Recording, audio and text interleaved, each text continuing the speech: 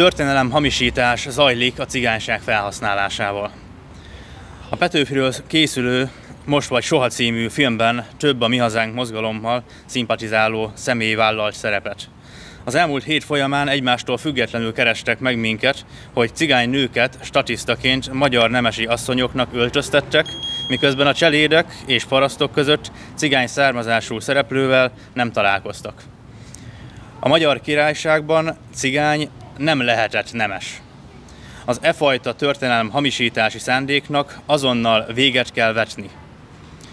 A nyugati filmekben már évtizedekkel ezelőtt elkezdődött az a szereposztási gyakorlat, melyben a pozitív karakter csak is néger lehet, míg a negatív karakterek megjelenítésére a fehérbőrű, különösen a szőke és kékszemű színészeket alkalmazzák gyakrabban.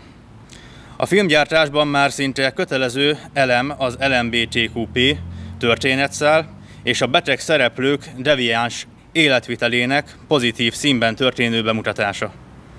Az Oscar-díjas filmek többsége egy keresztény ember számára vállalhatatlan értékeket közvetít. A probléma ezzel a folyamattal az, hogy a fehér fiatalok egészséges rasztudatát pusztítja. Történelem hamisítással, valóságferdítéssel szégyenérzetet keltenek, és megfelelési kényszer következtében a filmek nézői a kisebbségi csoportok védelmére kelnek. Itt is el kell mondanunk, hogy az európai keresztény kultúránál és európai embertípusnál nincs üldözöttebb a világon. A Petőfi film nem állhat be a sorba. Olyan filmekre van szükség, mely az egészséges rasztudatot erősítik, és ezzel fennmaradásunkat elősegítik.